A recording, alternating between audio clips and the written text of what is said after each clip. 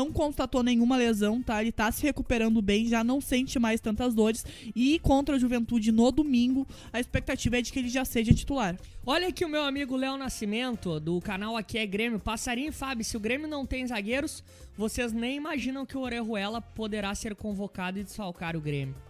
Pois é, né? Seleção colombiana, o Panita Pode ser, pode ser. E aí vem o Lucas Cauã, Léo. Aí eu acho que vem o Lucas Cauã, grande Léo. O Léo que teve aqui na sexta-feira com a gente, trocando uma ideia. E tu sabe que o Léo, Fábio, ele falou uma coisa aqui que lá no nosso canal do YouTube bombou sobre o garoto Zorteia. O Zorteia. É, fizemos um corte do que o Léo falou e colocamos lá no nosso YouTube da Rádio Pachola e bombou o corte nosso querido amigo Léo Nascimento. Grande Léo. Léo, quando estiver em Porto, vai me dar um toque aí pra gente fazer um papão com ele.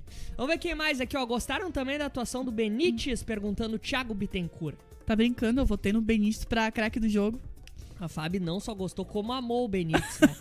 Chegou não, a solução eu me empolguei. aí. Eu me empolguei, mas é que, tipo assim, foi um jogo sofrido. Foi um jogo feio. A gente não pode falar que o Grêmio jogou bem ontem.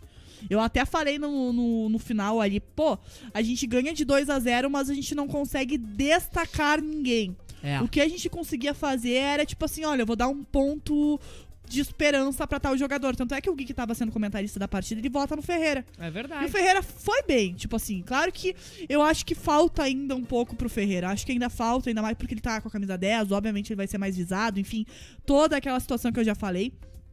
E aí, nessa, nessa questão, com este mesmo argumento, eu acabo votando no Benítez. Por quê? Porque ele entra bem, ele consegue encontrar passes que quebrem linhas, ele tem um. A, a, gente acaba tendo com a entrada do Benítez um ponto de criatividade dentro de campo, um ponto de lucidez dentro de campo que a gente não estava tendo. Aliás, a gente tinha com o Campas, mas o Benítez, ele é aquele meia mais armador, mais clássico. Sim. Sabe?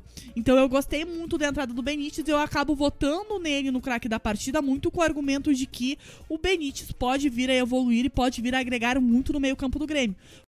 Pacholada, vocês já nos ajudaram chegando até aqui no nosso vídeo. Quer nos ajudar ainda mais? Então, cara, curte esse vídeo e te inscreve no canal da Rádio Pachola, que foi o Passarinho. Tamo junto!